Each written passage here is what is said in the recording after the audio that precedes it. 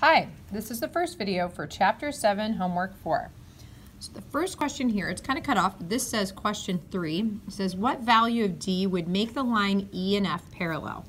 So it, it looks like they're parallel, but if in fact these two angles were equal, it would actually prove that it's parallel. So we're going to take both of these angles and set them equal to each other. So the first angle should equal the second angle, if they are parallel. So if these two equations are equal, so 5 times 2d minus 3, if that is in fact equal to 6d plus 11 plus 2d, then you would be able to prove they're parallel. So let's solve for d.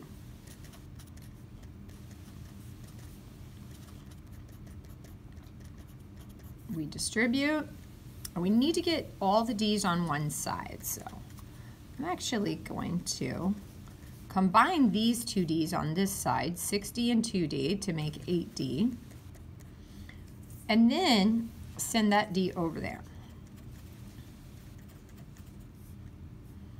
So 2D. Now I need everything on this side.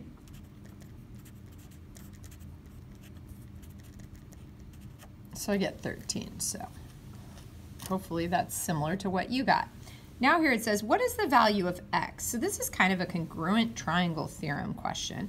We believe that this triangle here would be 90 and that would be 90 and this uh, side matches this side and we know this side and this side match because of reflexive. So this would be, this triangle has to equal that triangle because it's side angle side. We could also call this leg-leg right triangle congruence theorem. So because these are twin triangles, uh, CPCTC tells us that these corresponding parts should be congruent. So that's all the reasons, but all they really want to know is, what would x be? So we know these two have to be equal, so we're going to set them equal to each other and solve. So if I subtract 3x on both sides, now if I add 12 on both sides, and if I divide 2 on both sides, I get 21. So I know that the number has to be 21 for these two sides to in fact be equal, and that is one of my choices. Now these two were deleted, so question 7 says, what would be a value where these would be parallel for angle 1 and 5? So when I put angle 1 and 5, I notice that those two angles would be congruent if in fact they're parallel, and this is a symbol that means they are parallel. So if they're parallel, angle 1 and angle 5 are equal because of the corresponding angle postulate. So I'm going to set these equal to each other and solve. These were very similar to the ones on the test. All right, so you should get 3x here if you subtract 2x on both sides. Now if I subtract 38, six, so x here would be equal to 2. So all it's saying is, what would be the value of the variable? Well, the variable is x. So this question is asking for x, and we got x is equal to 2. Now here it says, if they're parallel again, so same thing, if they're parallel again, angle 4 and angle 6 have these expressions. So I look at angle 4, and that's acute, and this is angle 6, and that's obtuse. So they can't be equal to each other. And in fact, they're not. Angle 4 is acute, angle 6 is obtuse, and they should add up to 180 because of the same side interior angle theorem. Both of them are on the same side and both of them are in this road. So we're going to, this is our formula, and let's solve for x now by adding them together. So I get 5x plus 5 is 180.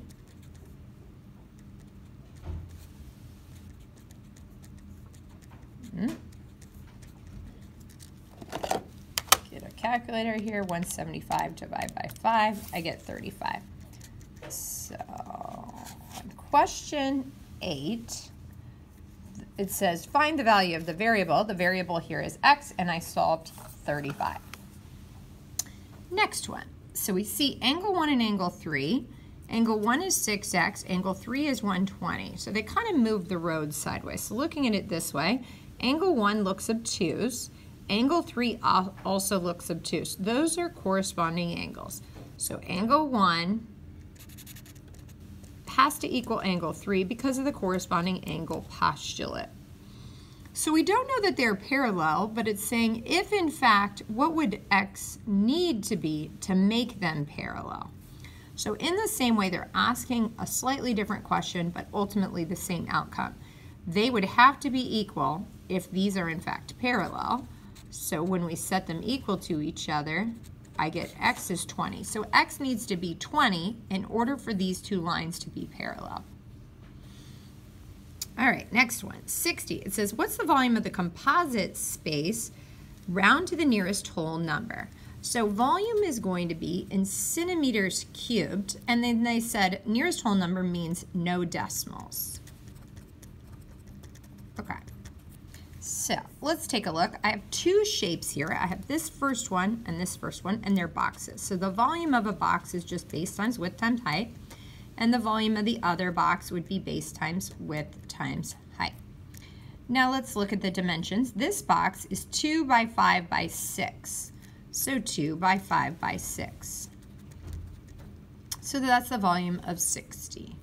Now this one's a little different. It looks like we have to be able to imagine it, or if we drew it, um, it looks like the depth of this box lines up with that one. So this one has a depth into the page of 5 and a front of 8 and a height of 3. So I believe the dimension of this box is 5 by 3 by 8. So this would be 5 by 3 by 8. So that's 40. 5 times 8 is 40. And 40 times 3 is 120. So I got a total of 180 centimeters cute. Next one. Now we did a problem like this before, and it's very similar to this. It's like find the volume of two objects. It says please round to the nearest whole number if needed. So the bottom of the box is a rectangle, so that'll be base times width times height. Four and a half by four and a half by six.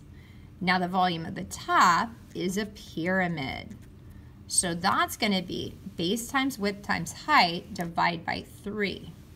So the volume of a pyramid is base times width times height divided by 3. So the base here is still 4.5, width is 4.5, and the height is 2.5. So that number 3 was really just a distractor. They tried to trick us there. So we have 4.5 times 4.5 times 6, base times width times height, or oh, where did that six come? Oh, I made that up. Four and a half by four and a half by two and a half. Divide by three. Okay, so let's put all this yuck in a calculator. Four and a half times four and a half times six. 121.5. And this one, four and a half times four and a half times two and a half, divide by three, so I get 16.875. When I add these two together, I get 138.375. So if I round this to the nearest whole number, I simply get 138 feet cubed. Thanks for joining us. Check out the next video to get the remaining questions and the back of the worksheet.